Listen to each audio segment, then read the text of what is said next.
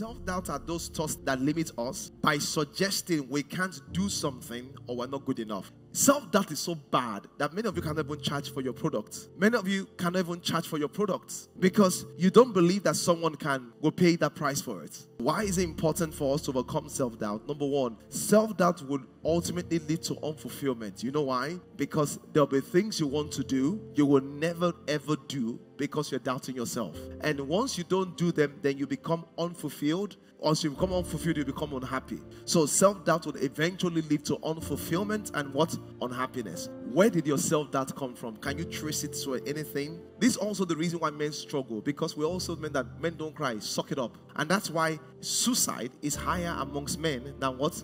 Women. Because they suck it up and kill themselves. Many of you need to talk, but you've not learned how to talk. You're in a church like this where you can talk, yet you will not talk, suffering in silence. I've told you before, our church is not like other churches. We have imperfect people in our church. We have struggling people in our church. And it's okay. The circumstances of life are not perfect. And they're not a perfect expression of God's love towards you. So, for example, the moment you had a divorce, something happened. Oh, I'm, I'm, I'm no longer a person because I'm a divorce. The moment you lost 10 million, I'm not intelligent. The question is that who didn't have issues along the way?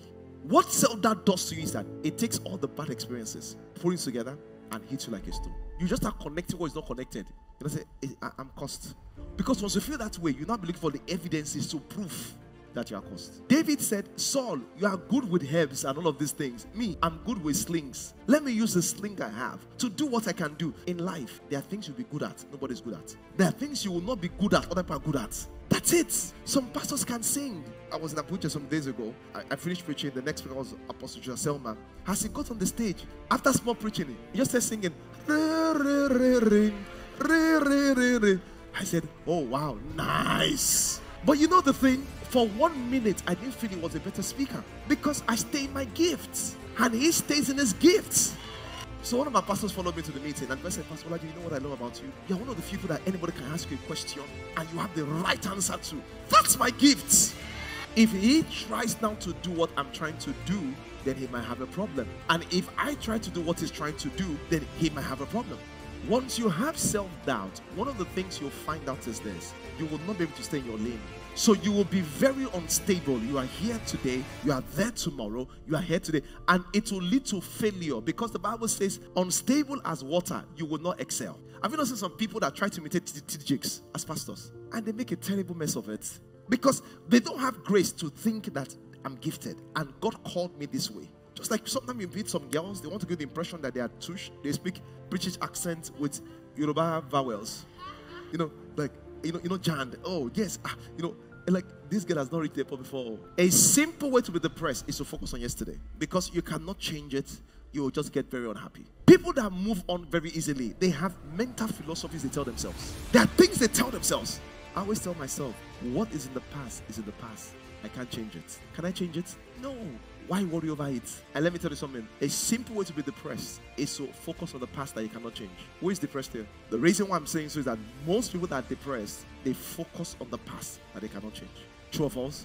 What can you do about what happened last year? Nothing. What can you do about what happened this morning? Nothing. Sometimes I make mistakes. You know, I just believe that I will live a better tomorrow than yesterday. So you must remember, I cannot change what I deny.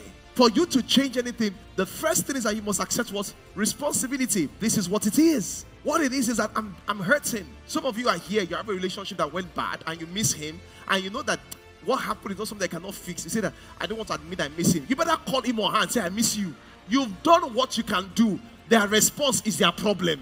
At least you will tell yourself, I tried. Yes or no? It's now when you now meet up a year after. Oh, and if you are coming on because I was also missing you. If you had told me that time, and I say, Oh my God, why didn't I do that? Why do you want to regret? Relationship will always bring pain because human beings are not perfect. But have the pain that I tried, rather I regret. Self that leads to unhappiness and unfulfillment. You know the honest truth about me? When I got married, I couldn't talk. My wife would ask me questions how I feel. My feelings were zero. It was as if my feelings were outside my body. But you know the bad thing? Once you cannot talk, the other person cannot meet your need.